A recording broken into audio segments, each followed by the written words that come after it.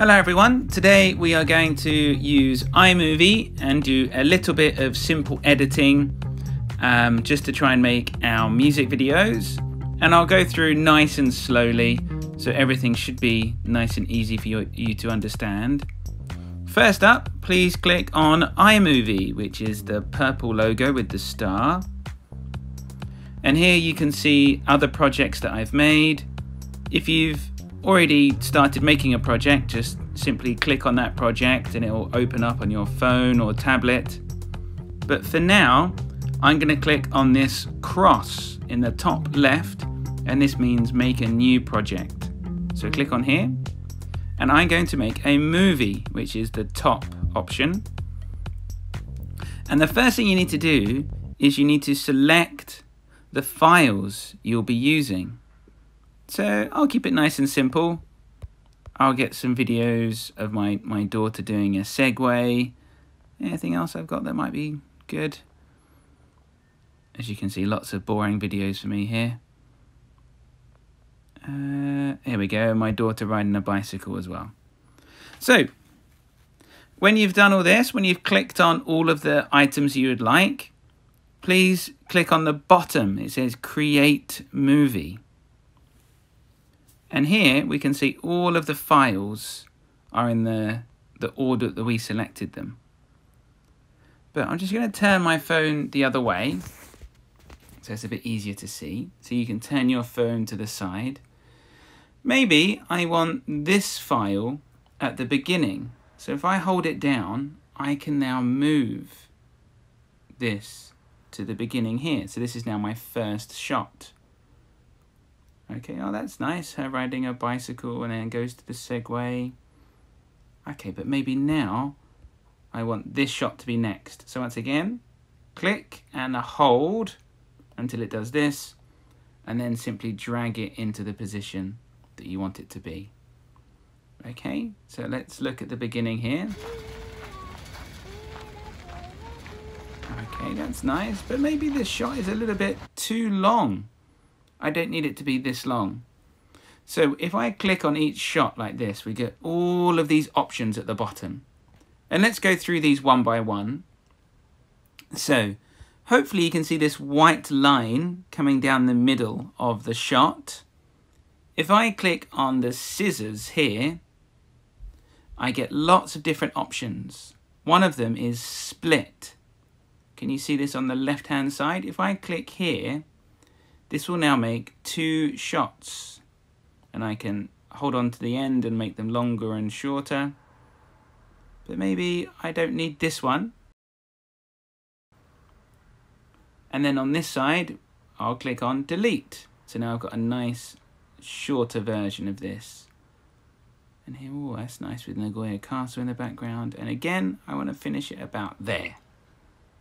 So I click on here, and once again, I can click split around the yellow bit and delete. Okay. So next up, we got the scissors here selected. If we click on the next one, we can now change the speed going down here. Oh, excuse me. Scrolling down here makes it very, very slow. Scrolling up here will make it much, much faster. Okay, so that one's nice and easy. Next up, we've got this sound option. And because we're making a music video, it might be a good idea to turn the sound down from all of your shots because we're not going to be able to hear them anyway. So just go through your shots and turn the sound down. Okay, so that was the third option there. The fourth one, we were not going to need. This is to make a title so there are lots of standard things we can do. I don't think we need to worry about that for this project. So please don't worry about this unless you want to add subtitles or something that might be fun or if you have characters speaking you want to make it a bit clearer.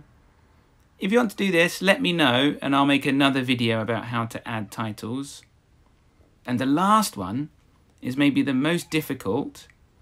These three circles we can now change the color and the grade on here. So if you wanted to have it black and white, we could just do that with a click of a button.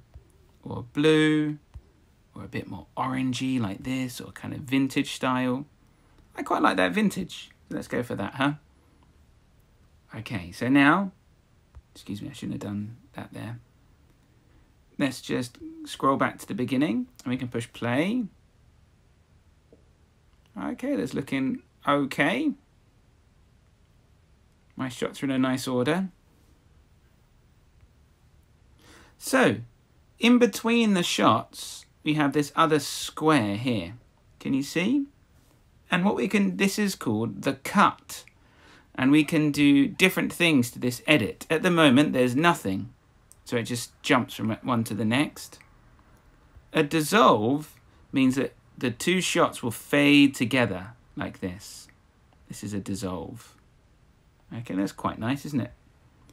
Or you can do a wipe, where one shot kind of takes over the screen very slowly. So you'll see that here. This is called a wipe. So here we have a, a dissolve, also known as a crossfade. And here we have a wipe. You might see this in Star Wars movies, right? The wipes. And there's lots of different things you can do here. Um, you can even add different themed ones. So, ooh, that's quite cool. Dip to black and then come back. Okay. And then at the last here, we've got the, the vintage style we did. So this all looks very nice. I'm happy with the shots. But obviously for a music video, there's something missing, which is the music. We need to add some music on here. So on the left-hand side, it says done, plus, and a play button. If you click on the plus sign, you will get access to this as well. So click on audio, and what you can do is you can add some sound effects. There'll be a built-in library that you can choose some sound effects if you would like to. And my music, this will go to your iTunes. Now, I don't have many songs on my iTunes. I don't listen to much music. But yeah, please select the song you'll be using in your project. And it can be a Japanese song if you like, that's not a problem.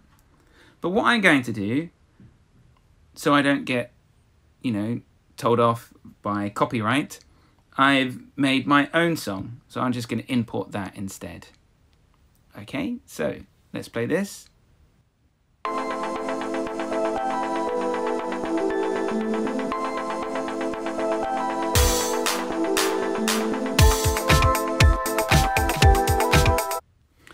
As you can see, the music is now underneath the track.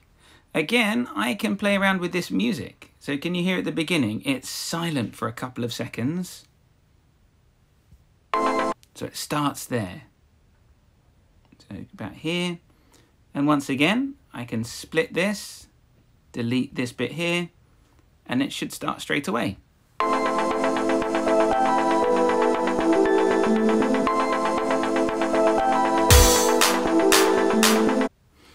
So obviously my video is not as fun as what your music video will be, but hopefully this has given you some idea about how you can play around with iMovie to make your music video.